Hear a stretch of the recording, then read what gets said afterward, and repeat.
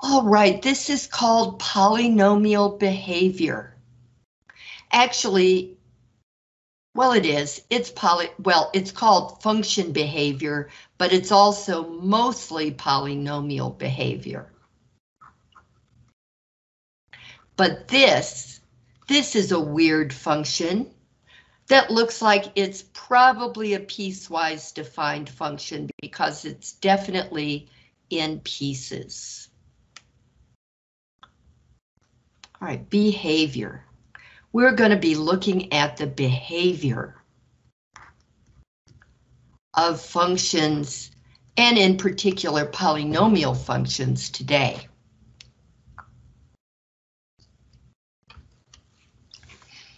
Okay, this function has definite starting and stopping points. Notice there are solid circles here. There's only one open circle. So let's go ahead and code these. Now let's see, what was my code from yesterday? Green was increasing.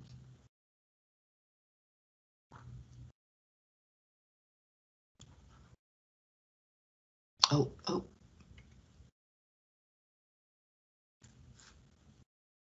Increasing. Red was decreasing.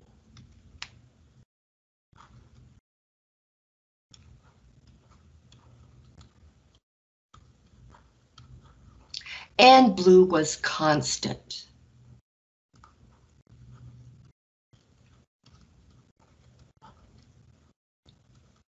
Okay, so let us take a look at this.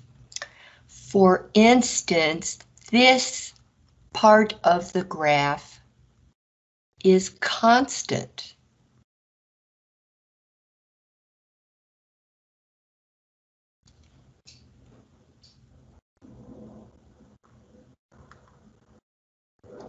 And this part of the graph goes from negative 9 on the x-axis.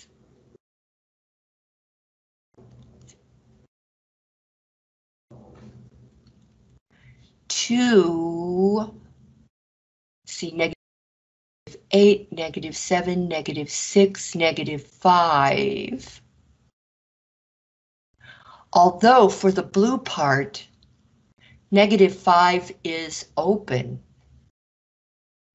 So notice that if we're looking at the first two questions, domain and range, then what we have here is we would have a bracket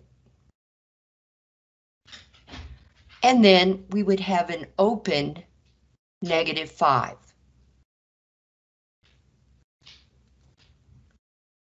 Because x actually equals negative 9, but x does not equal negative 5.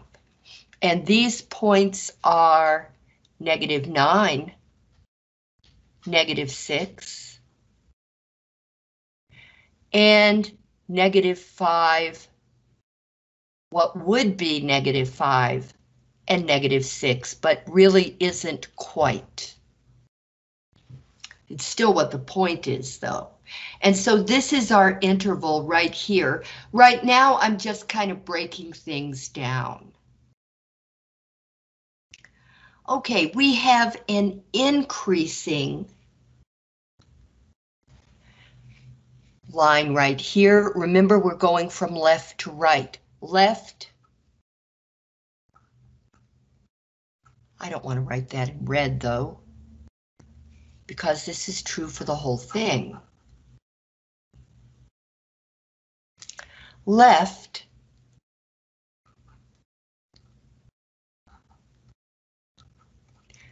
all the way to right. That's the way we read it.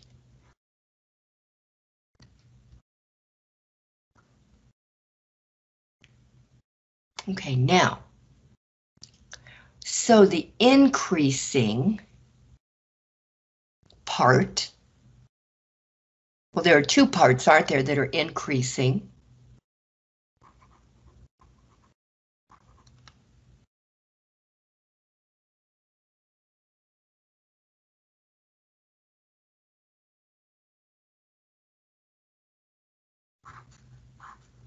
So I'm just kind of coloring them in early.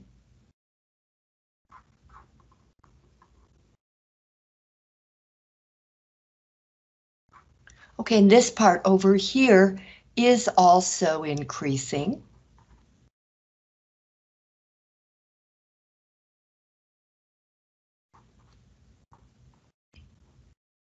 As you look from left to right.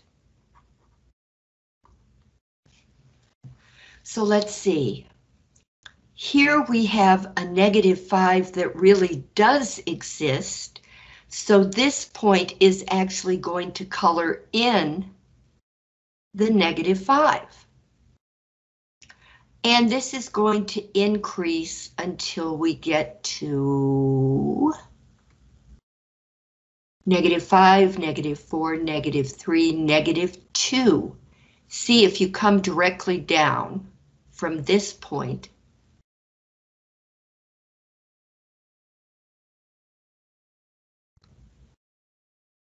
you're at negative 2.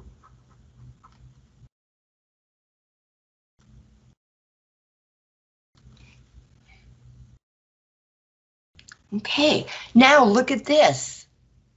This was open, an open hole, but it got closed in by that. And so this entire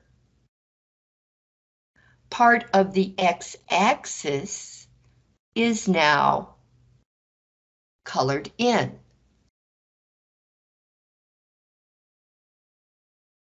That's going to be important when we look at the domain. There wasn't, there would have been an open hole there if that had been an open hole, but now there's not. Okay, now over here, this is increasing from, let's go, one, two, three, four, five, six, seven. Okay, from seven on the x-axis to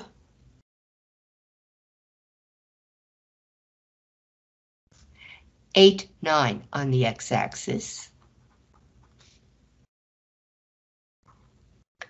And those are solid points. And we have decreasing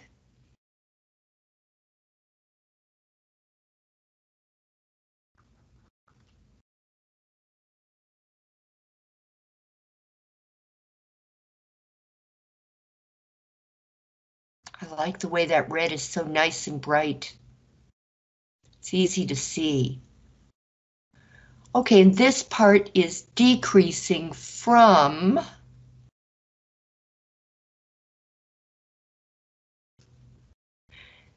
negative 1 all the way to positive 7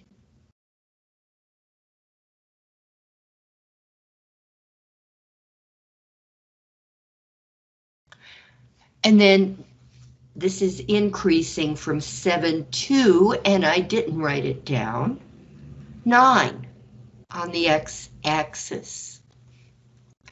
The x-axis tells us where the action is happening. Okay, so now we actually have a solid line starting at negative 9 and going to negative 2. And a solid line starting at negative 1 on the x-axis and going all the way to positive 9 but there is a break in here. Notice that. We've got no part of the graph between negative 2 and negative 1. That's interesting. Okay, now, to answer what the domain is, the domain is always on the x-axis. So watch me here.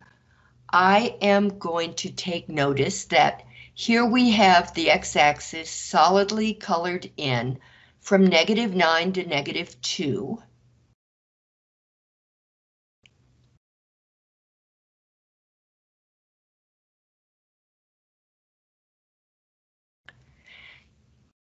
And we have a gap here.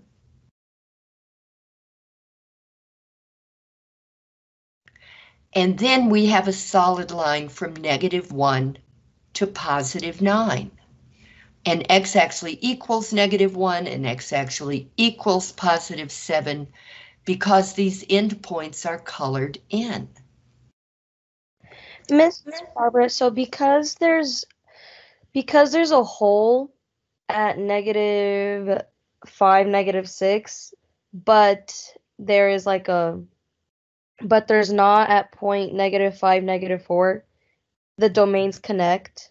Yes, because Okay. here x does actually equal negative 5, so that point gets colored in.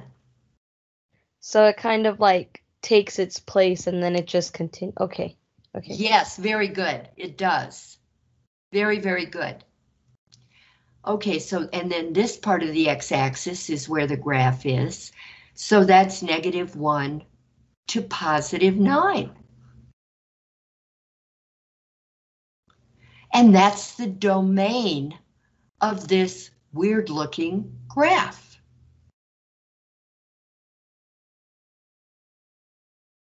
Now, the range. This is a little different critter. So before I go to the range, what I want to do is I want to write down the increasing, decreasing, and constant part.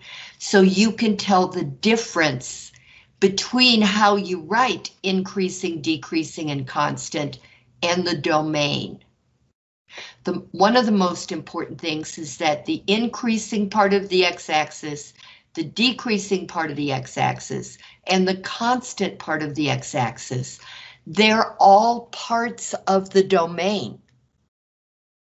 Because we say where they occur on the x-axis. So the increasing part goes from, now watch me, I'm going to write only parentheses. Negative 5 to negative 2.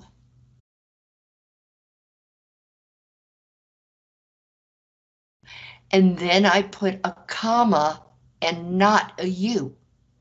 That's the difference between writing increasing, decreasing, and constant and writing the domain. It's hard to remember. Okay, and then we've got this other increasing part, that is the graph is increasing on this interval, 7 to 9.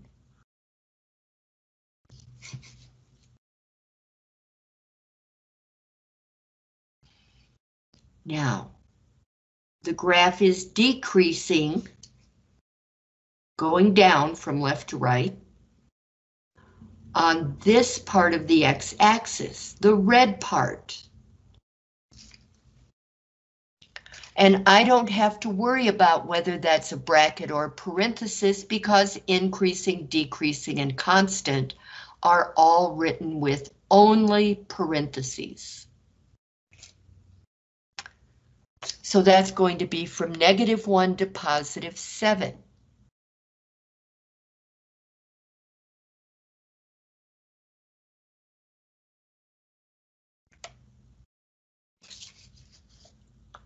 And it's constant from negative 9 to negative 5.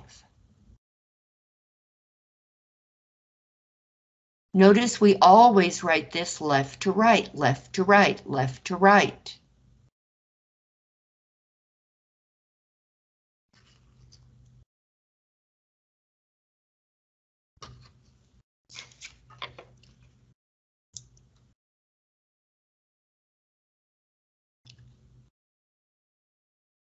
So these will all come out being these.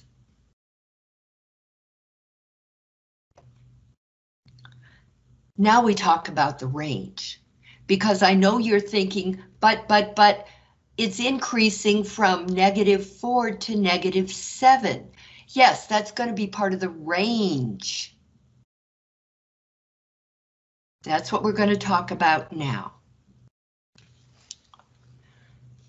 This part of the graph goes through negative 6.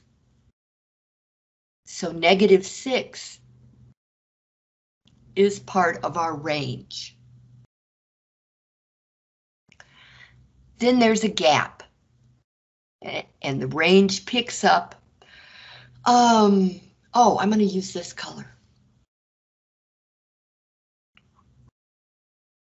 Okay, the range picks up here at negative 4 and goes solidly up to positive 7.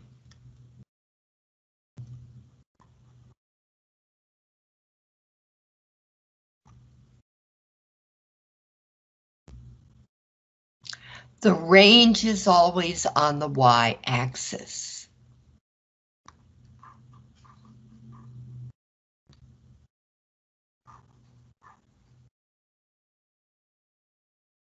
Okay. Now, notice this, that every part of this graph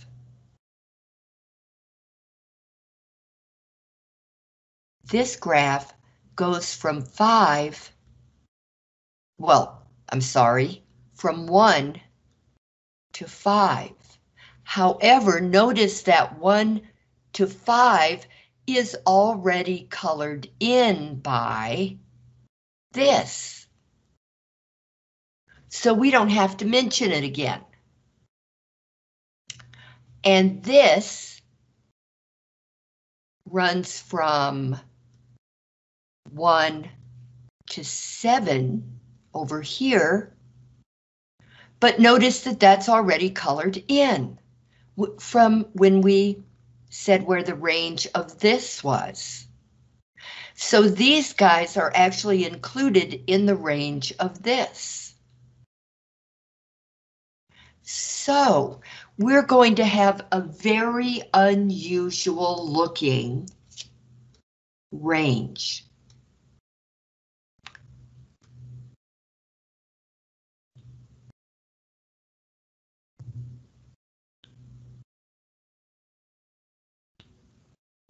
This is one number all by itself. Then there's a gap.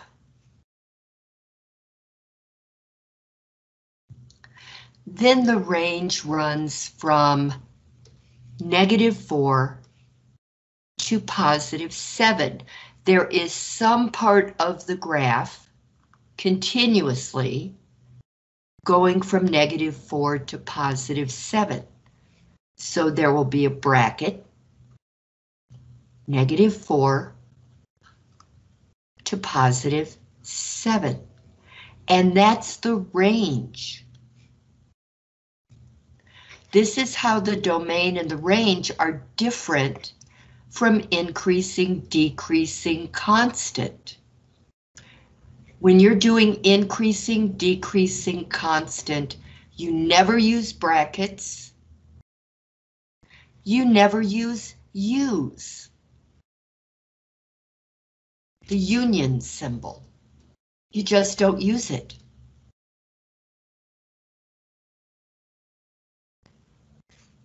And that is a toughie to memorize.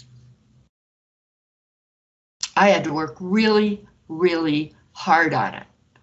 And if I'm not really careful, I still make mistakes with it.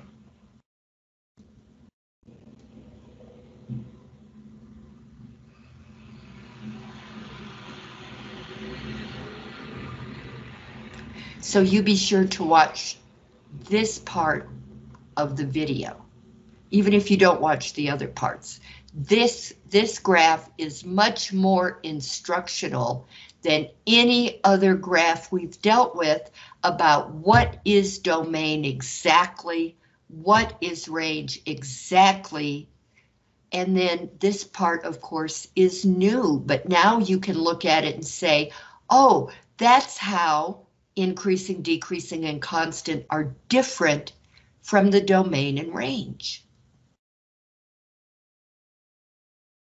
Discussion. I know it's hard to understand. I've been there.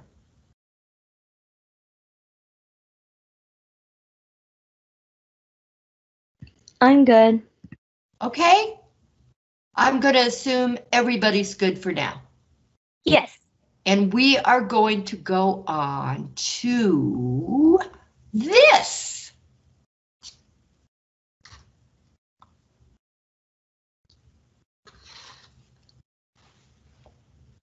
This is a nice continuous graph, no breaks. Goes from way down here at negative infinity all the way up here to positive infinity.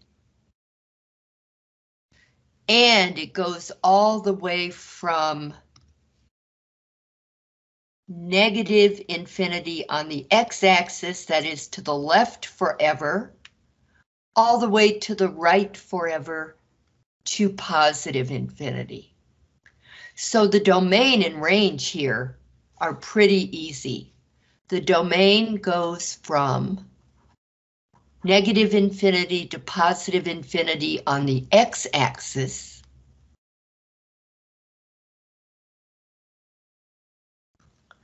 And the range goes from negative infinity to positive infinity on the y-axis.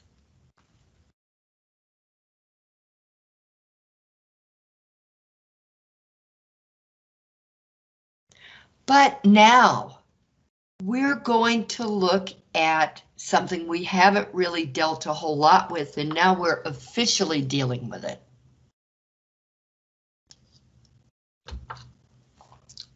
Namely, let's get the increasing part out of the way. you, when you're doing increasing and decreasing, you have to ignore the arrows. Everything, everything is from left to right. So this is going up.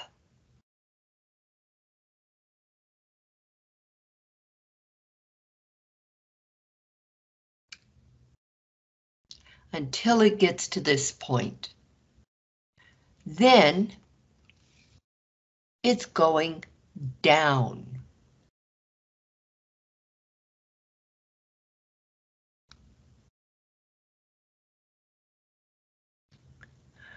until you get to this point, and then it's going up again.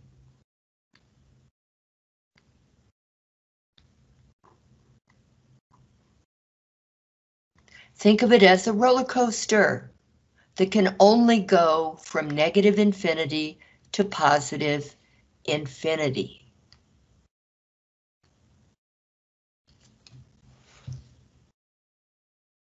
Okay. So we have two greens.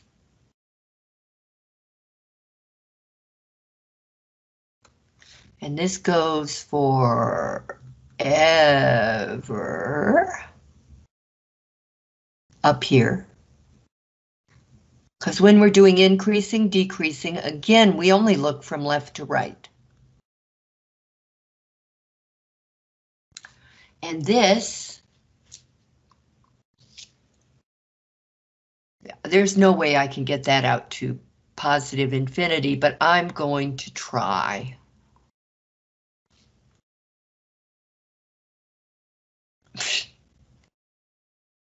Need to have my glasses adjusted. Okay.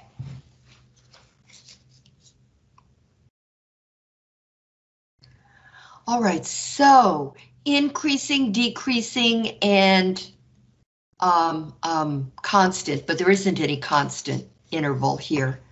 Um, they're all on the x-axis, never on the y-axis, even though it feels like they should be. They're not. So, the end of this, if there is an end, is at negative infinity, going from left to right all the way into x equals negative 3. So the increasing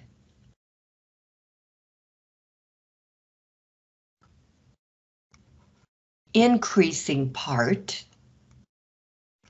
interval of increase is actually what it's called, but just the increasing part of the graph goes from negative infinity into negative 3, all the way to negative 3, I should say.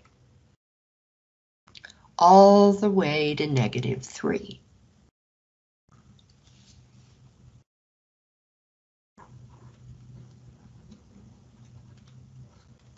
And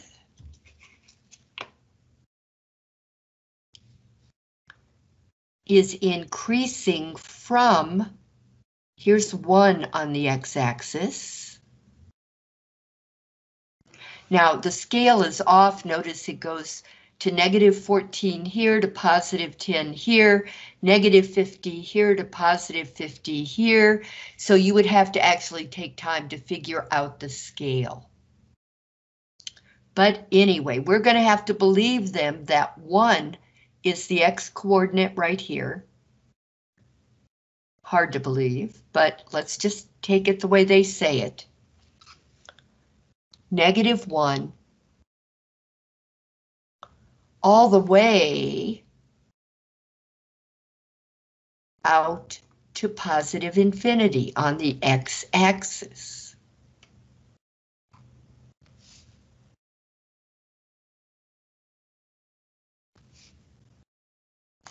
And decreasing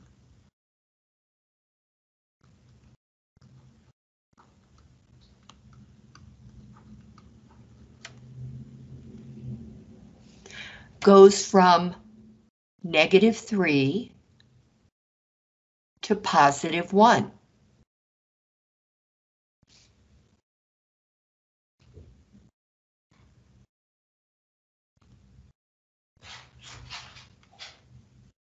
Make a 1 like theirs. It's hard to see. There. Okay. So notice that the big change in increasing and decreasing occurs here at this point and here at this point.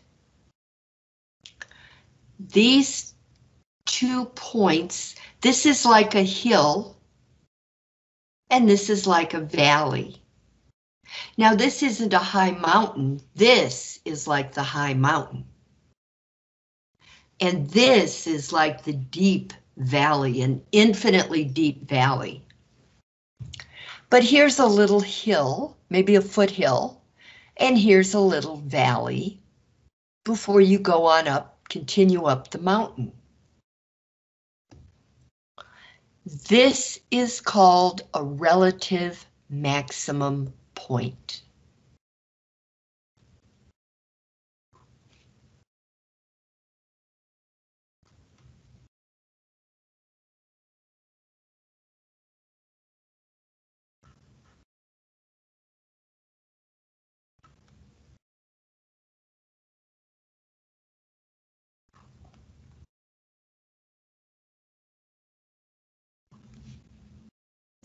And negative 1 here because this is the point negative 3, negative 1. Negative 1 is the relative maximum.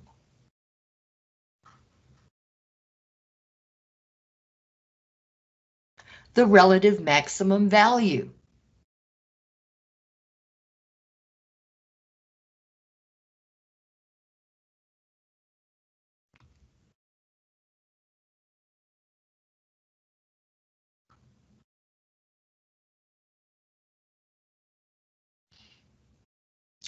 At this relative maximum, the graph changes from increasing to decreasing.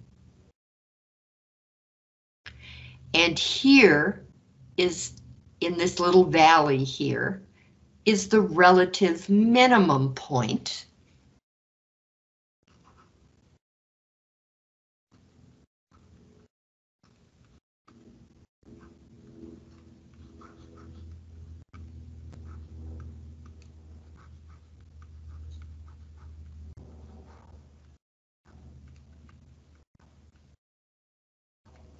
And the relative minimum, or the relative minimum value, is negative 9.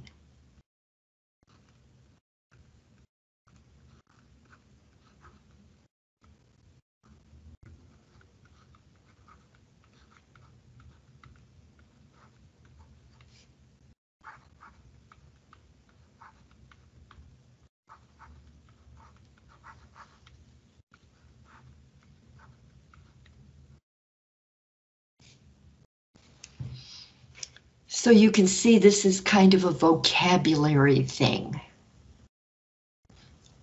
These are very important. You're going to learn that there's a rule. This, well, you're going to be, after, after the next thing that we talk about, you're going to be able to look at this graph and say, oh, that's a cubic. Probably a cubic it has, it goes like this. It rises on the left and continues rising on the right. And it has two turning points, which is one of the collective names for the relative maximum point and the relative minimum point. Because the graph turns from going up to going down at the relative maximum point and from going down to going up at the relative minimum point.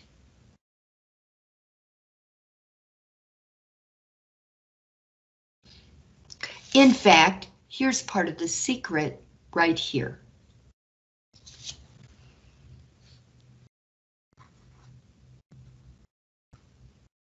This is not going to be exactly y equals x to the third, but I don't know what it is. But I know that the highest degree is going to be 3, and I know that because rises on the left, rises on the right, and uh, what point was I going to make here? Oh yes, whenever the highest power is 3, then the maximum number, the most turning points you can have is one less than three. The maximum number of turning points. You could have less, but not more. That's what that means.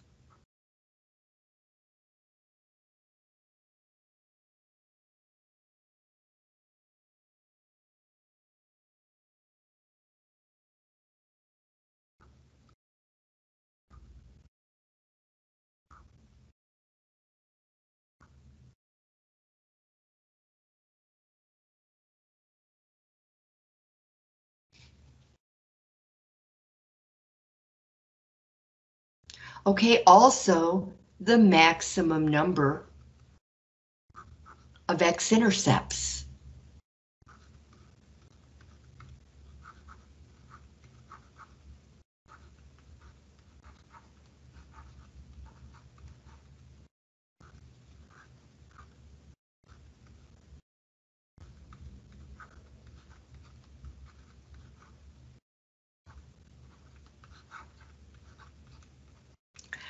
Is the, the same as the highest degree, 3.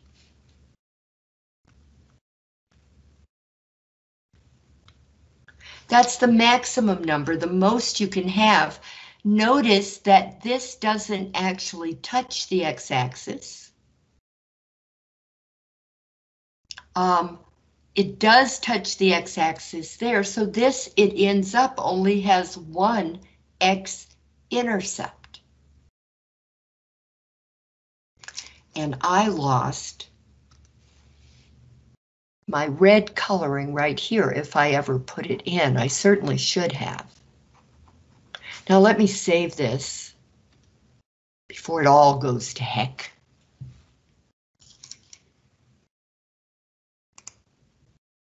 And this is the beginning of our analysis of polynomials.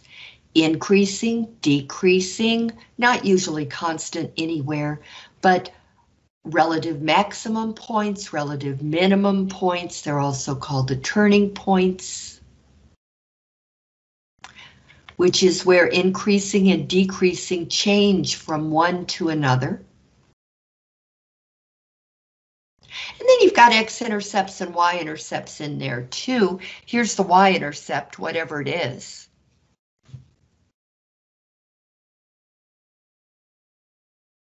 So yes, this will take some flashcards for sure. And as always, I highly recommend them. Now,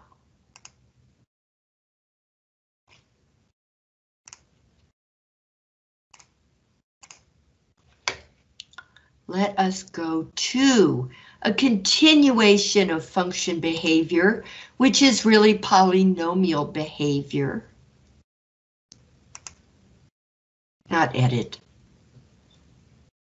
Well, but nobody's done it yet, so I can do edit, but I'd rather not.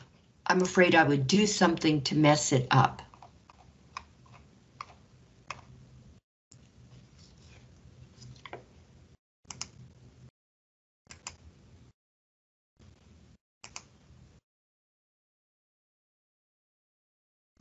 Okay, now this, a lot of this is review from when you reviewed polynomials at the very beginning of the semester, but now it becomes important.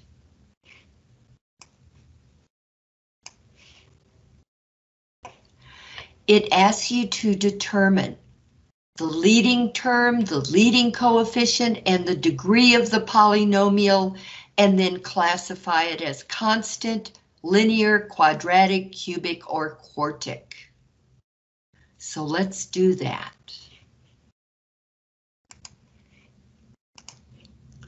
Now is the time when you have to actually know that stuff.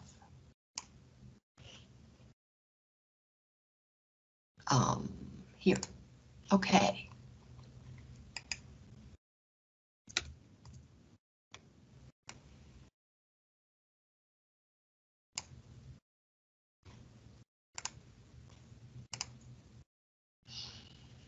Okay.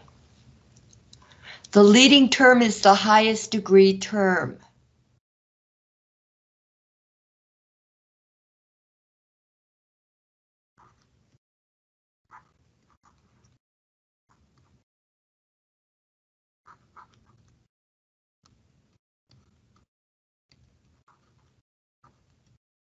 That's the same thing as saying the highest power term.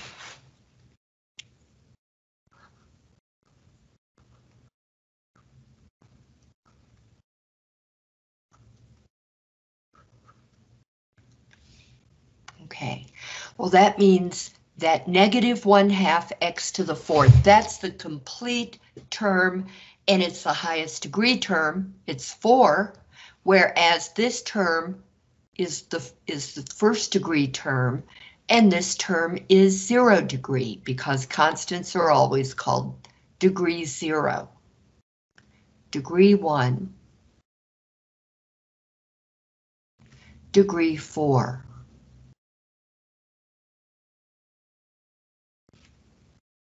So the highest degree term is negative 1 half x to the fourth. The leading coefficient is the number in front of the leading term.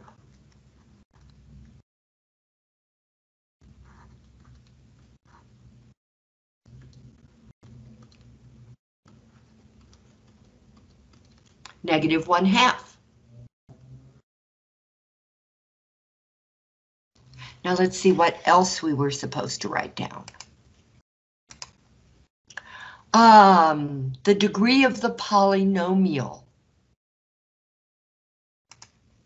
Okay, the degree of the polynomial, the highest degree term gives the polynomial, the whole polynomial, its degree. So the degree of the polynomial is 4.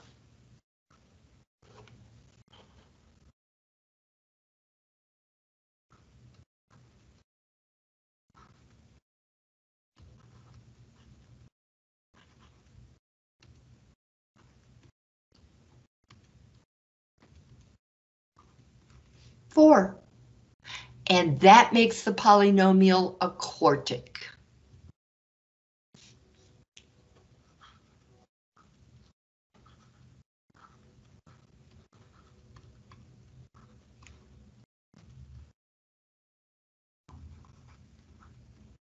And I'm actually taking the time to write all this stuff down. The polynomial is a quartic because the polynomial is degree 4.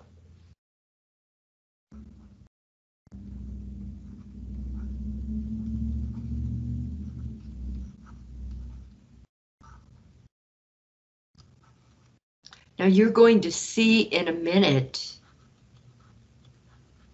that all this stuff, these facts end up being very important. Why? For end behavior. Because the polynomial is degree 4.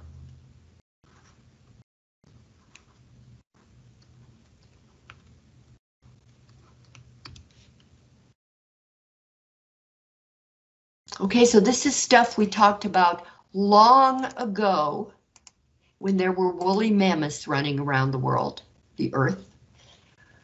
Um, it feels like that way back at the beginning of the semester. This was part of, of the review, and now we're really needing it. Okay.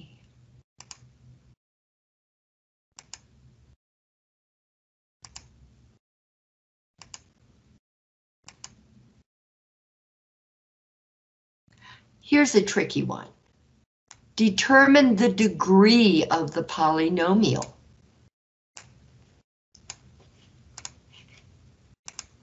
There now. Move that over a bit.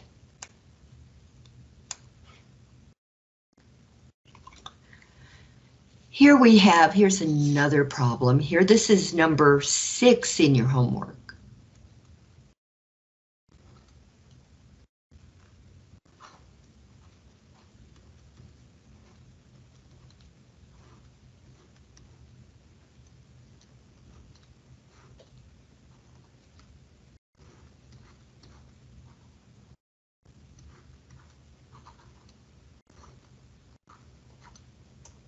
Now it doesn't ask you to expand this. That is, it doesn't ask you to turn all this into separate factors and then multiply it all together and come out with anything. That would be cruel and unusual punishment.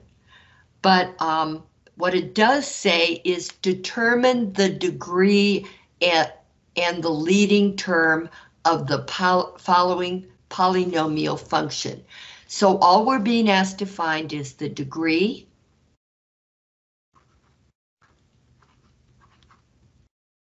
and the leading term.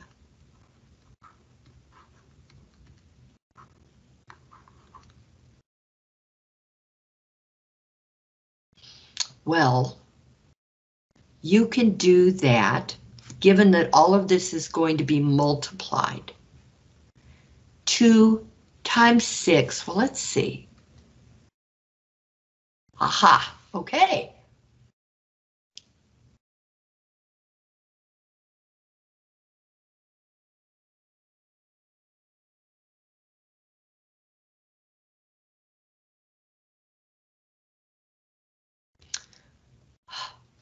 All right, 2 times 6 is 12. The highest degree term from squaring this is going to be x to the 12th. 3 times 3 is 9. The highest degree term from writing this factor out three times and then multiplying them all together is going to be x to the ninth.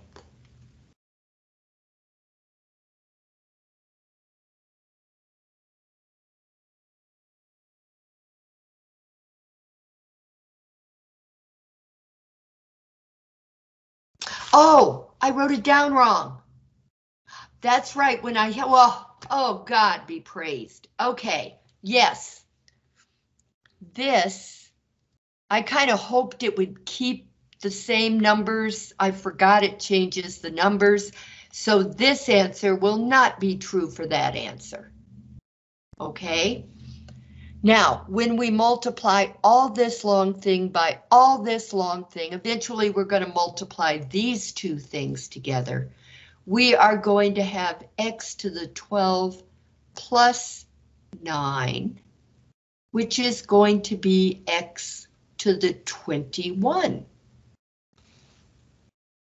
So the degree of this polynomial is going to be 21, and the leading term is going to be x to the 21. How do I know that? Because the coefficient is 1 there, so there's not going to be some other coefficient there. The leading term is just going to be x to the 21. Whew. Okay. Yes, well, that scared me.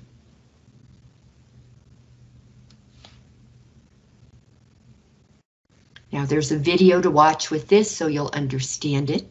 And it's important, so watch it please. We're going to go on to something easy. One of the very few things in this ending part of um, college algebra, the last five weeks is what we're in now, we're going to go over something that actually ends up being pretty darn easy, and that is the end behavior of polynomials.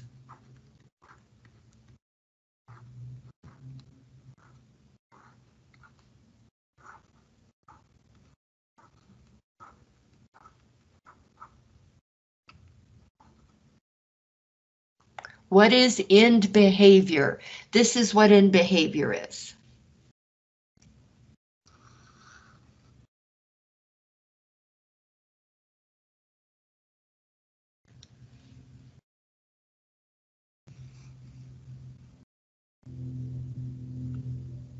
Okay.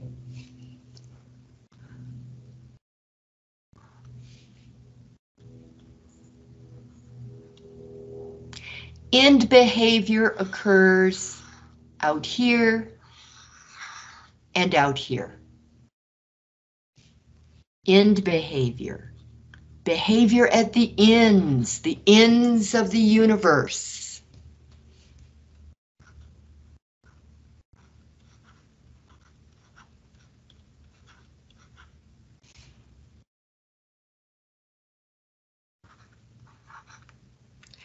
And there are only four different kinds of possible end behaviors for any polynomial in the universe. Is that cool? Okay.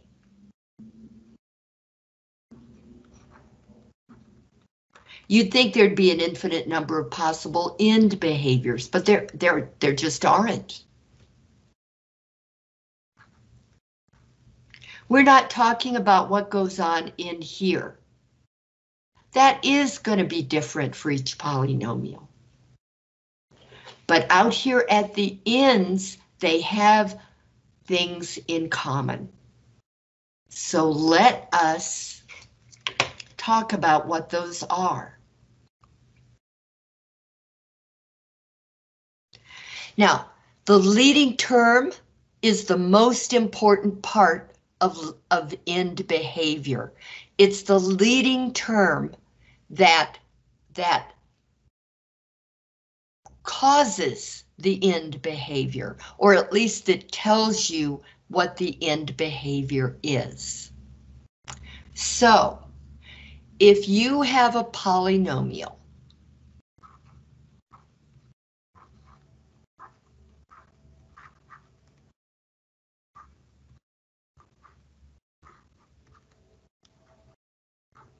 of even degree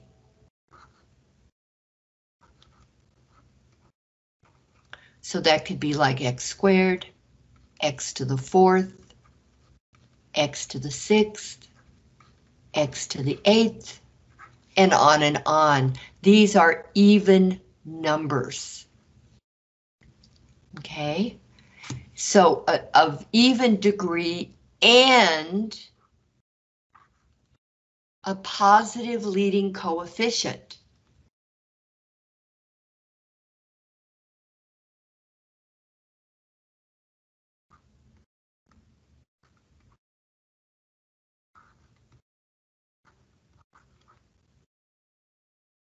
In other words, the number in front is positive.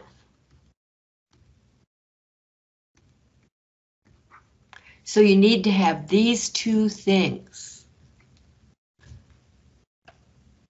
The highest power of the polynomial has to be even. 2 goes into it evenly. And the number in front has to be positive. So positive 1, or maybe positive 3, or even something really ugly like the square root of 2, um, or 7. As long as the number is positive and the degree is even.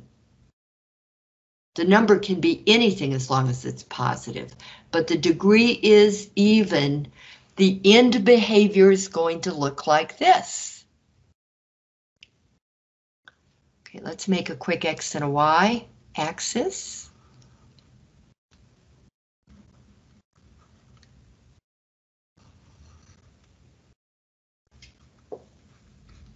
Okay, way out here,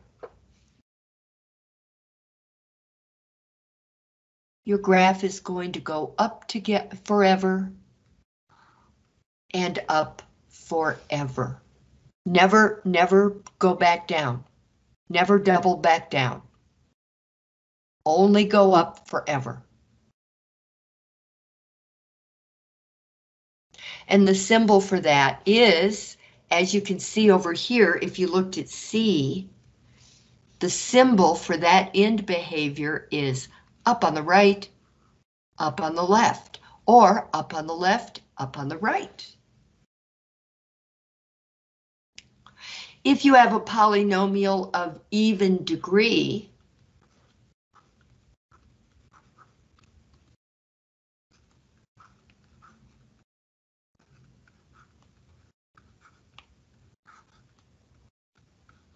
even degree, like x squared, x to the fourth, x to the sixth, x to the eighth, We'll just leave it there. And the coefficient, the leading coefficient and the leading coefficient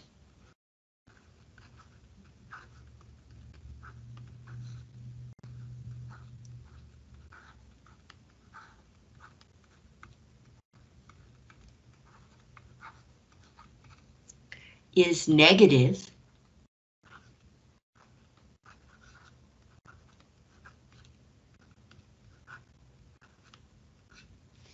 like maybe negative one. So that would just be a negative. Um, how about negative three? Negative the square root of two. Then your graph is going to go down on the left forever and down on the right forever once it gets out and away from the y-axis that is out here and out here.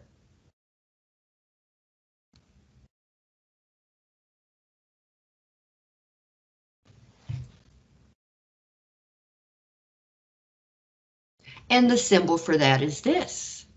Down on the left, down on the right.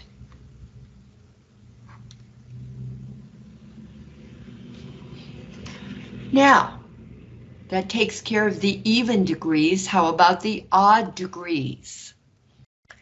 If you have a polynomial,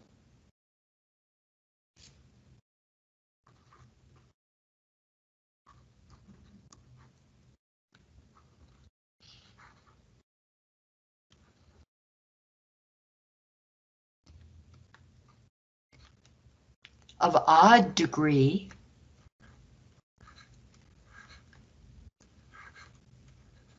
That means 2 does not go into it evenly, so a polynomial of odd degree would be x to the 1, or x to the 3, or x to the 5, x to the 7, and so on.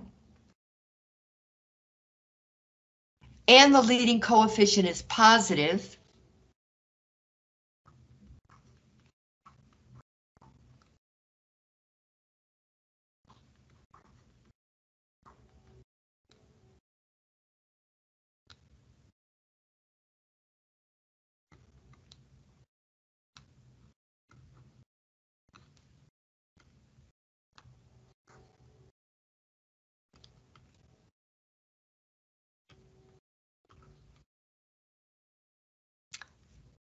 Then the graph.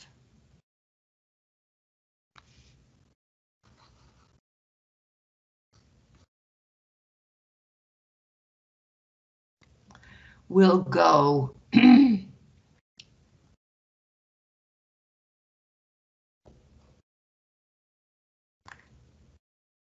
down forever on the left and up forever on the right.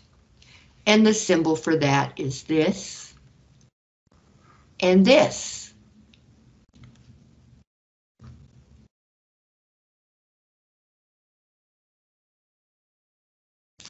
So that's like this right here. We have in the book f of x equals the square root of 2 times x to the third plus 4x squared minus 5x. That's kind of a weird place for a minus. Minus 5x plus 3. Well, it doesn't matter what kind of number you have in front, except that it's positive. This is the highest degree term, therefore the whole polynomial is of uh, of well, it's it's of odd degree. It's three. It's a cubic. Whatever it does in the middle, when it gets out to the ends, it's going to go down forever on the left and up forever on the right. So will that. It's going to go down forever on the left, up forever on the right. And D would be the answer to this. D, right there.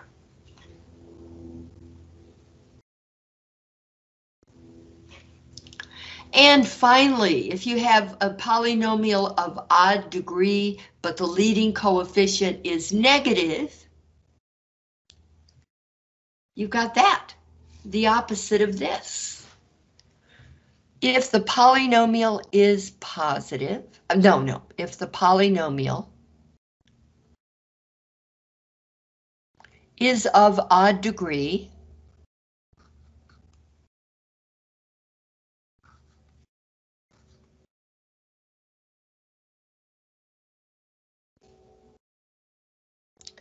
and the leading coefficient is negative,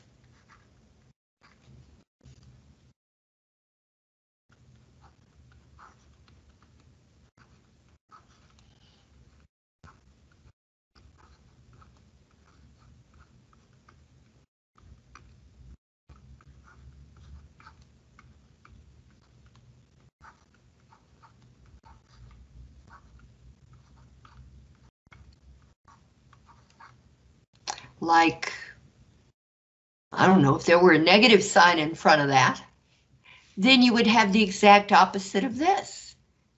It would go up on the left forever and down on the right forever, and whatever it's going to do in the middle, it's going to do. It does, doesn't matter because that's not the question right now.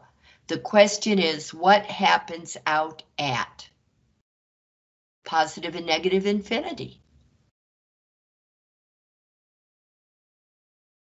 Okay, so let's take a quick look at these. We already looked at that one. Here, we have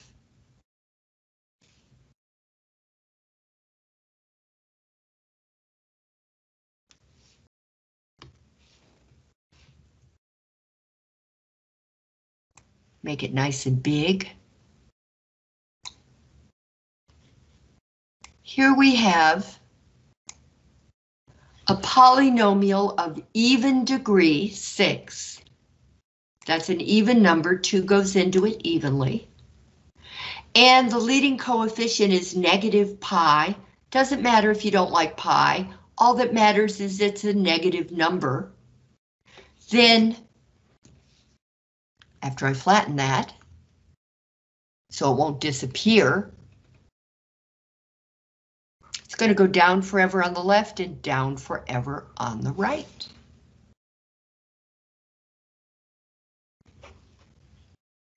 Okay. And the next one is the same. All right, how about this? Oh, no, we're going on to something else now.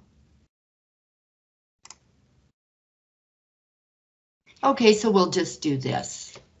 How about this? I'm going to change change number 10 a little bit. P of X. It's polynomial.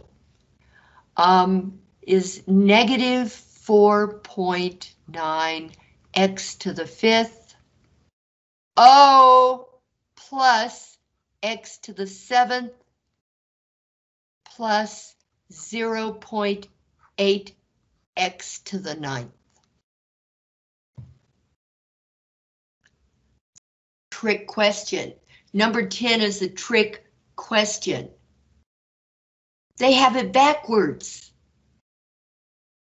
Polynomials have to be written in descending order. This is the degree of the polynomial, the highest degree. It's of odd degree, and the number in front of it is positive, so the end behavior is going to go up on the right forever and down on the left forever.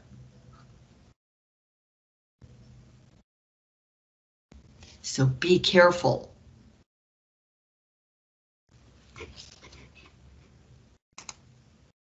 Okay, now, this is going to be one of the most important um, lessons you have. We've talked before about what a zero is. The rest of the um, of this homework function behavior and zeros is we're going to talk about what a zero is.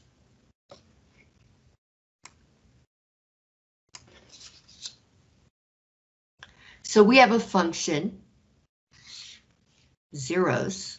See, there are lots of little facts you're going to be learning, and then we're going to put them all together into the rational zeros theorem, which is arguably the most important theorem in all of algebra. In fact, another name for, for that is it's part of the fundamental theorem of algebra. You're going to be learning about it. These are all little parts of it. All right, we have f of x equals x to the third minus 11x squared plus 12x plus 34. And they're asking you to test a number to see if it's a zero of the function. What is a zero of the function? Well, we're going to be testing x equals 3. So that's f of 3. So that'll be 3 to the third minus 11 times 3 squared plus 12 times 3 plus 34. That'll be 27. 3 times 3 is 9. Times 3 is 27. Minus 11 times 9. 3 squared is 9. Plus 36. Plus 34. This will be 27 minus 99 plus 36 plus 34. Let's see.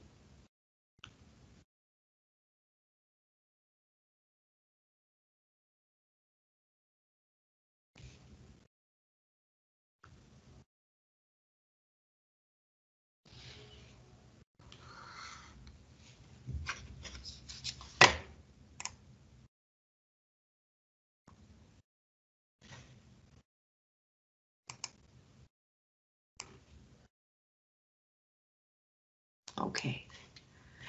So, yeah, yeah, yeah, this is always a problem.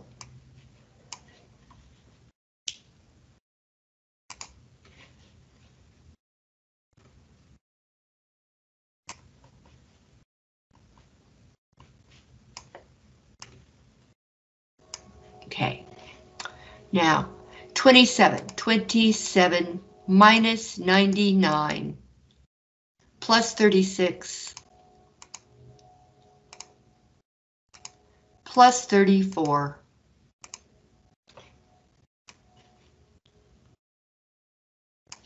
I'll make it big for you.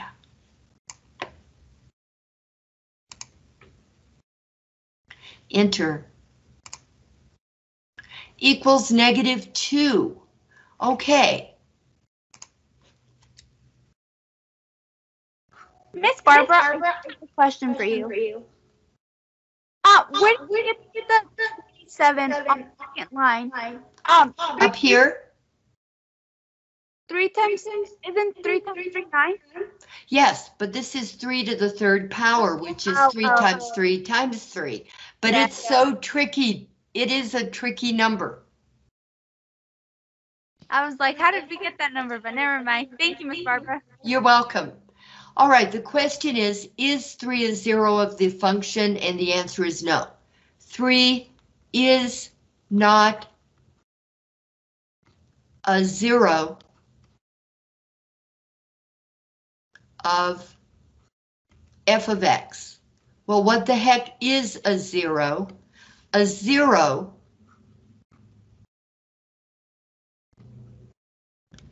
of a function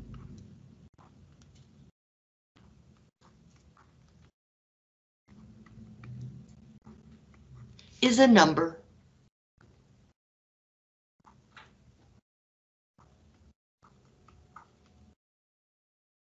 That makes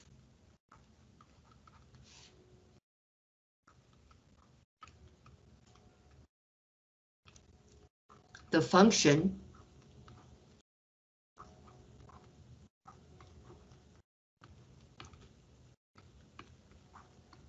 equal zero, which is why it's called a zero. So if the number doesn't make the function equal zero, then, then that number isn't a function. Simple as that. Let's find one that does. Huh. They're giving us all no's. I don't want to know. I want a yes. Here's a yes. Okay.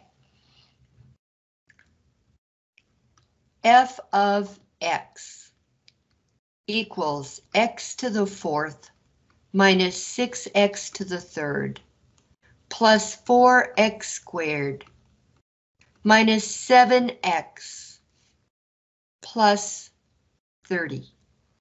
And we are testing the number 2. So we're going to have 2 to the fourth power. 2 times 2 times 2 times 2 minus 6 times 2 to the third power 2 times 2 times 2, plus 4 times 2 squared, minus 7 times 2, I could have put parentheses, plus 30. So let's see.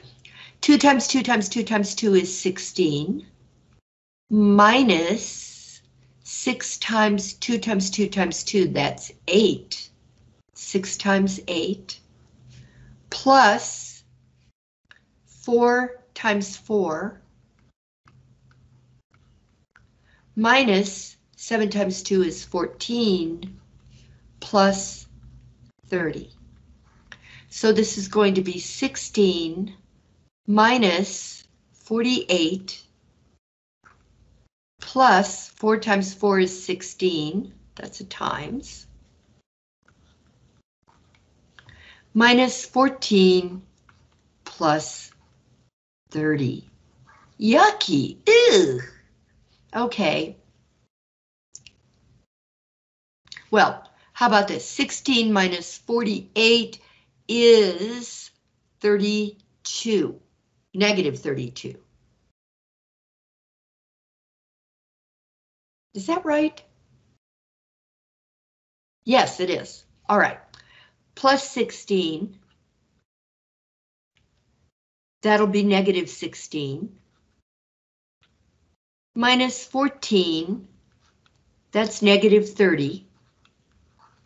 Plus 30 is zero. Yay! So 2 is a zero of the function. 2 is a zero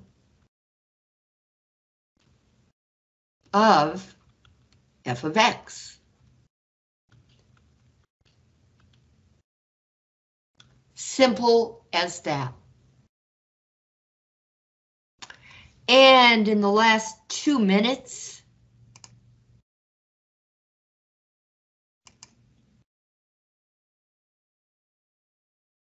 we are being asked to find the zeros of some functions, but we will just do that tomorrow because the next homework has it also.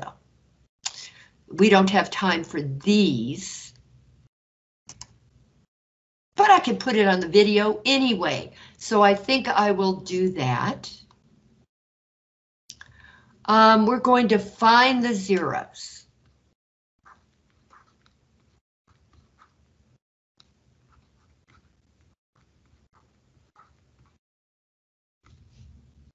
Of f of x when f of x equals x to the third minus 8x squared minus x plus 8. So that will be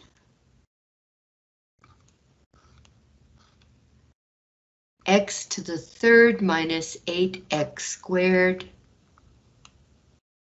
plus negative x plus 8. And so our GCF will be x squared. So we'll have x squared times x minus 8 plus, now, the GCF has to be negative because the leading coefficient is negative.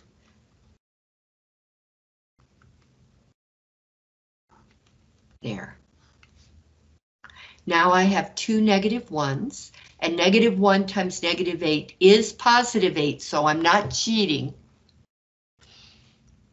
We're going to have x squared times x minus 8 plus negative 1 times x plus negative 8 is minus 8. Now, x minus 8 is the GCF.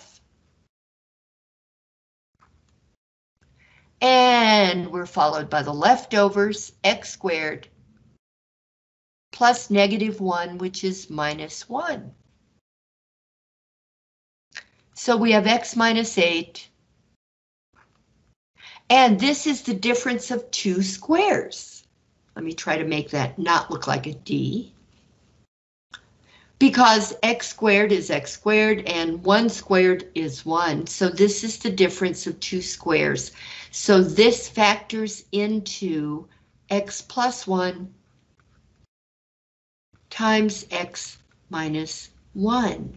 Now we're trying to find the zeros of the function, so, well, they'll make f of x equals 0. So we're going to solve this equation, which means we take x minus 8 and set it equal to 0, x plus 1 and set it equal to 0, x minus 1 and set it equal to 0, so we will have x, add 8 to both sides, you'll have x equals 8. Subtract 1 from both sides, you'll have x equals 1, and add 1 to both sides, you'll get x equals 1. So the zeros of the function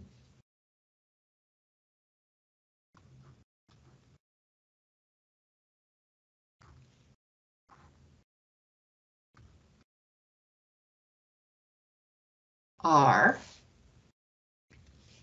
yeah, yeah, yeah, are negative 1, 1, and 8. And notice that each one occurs once. Well, we've never had to keep track of that, but now we do. Multiplicity is how many times a number, a zero occurs.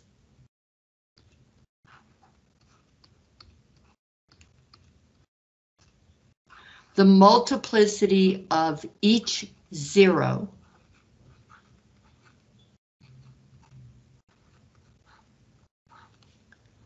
is one. And we will talk about this more tomorrow when I will talk to you all then. But stay around if you have questions.